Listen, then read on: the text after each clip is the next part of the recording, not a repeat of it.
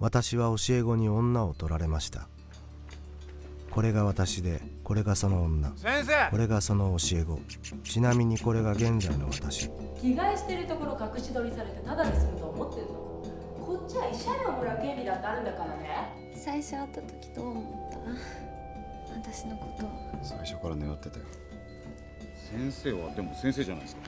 学校なんかもうどこも雇ってくんないよ俺らの学年の女子みんな着替えしてるとこ先生に捉えてたんだろ？俺先生のこと尊敬するよ。これ売っちゃおうよ。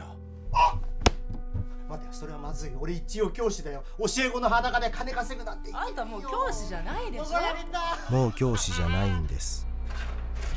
何もかも捨てた私は40を過ぎて不良になりました。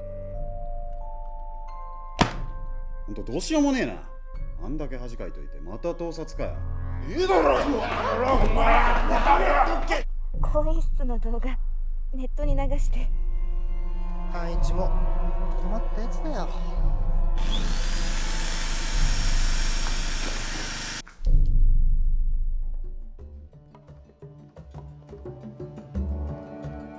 教え子たちよ。ありがとう。また一からやり直しです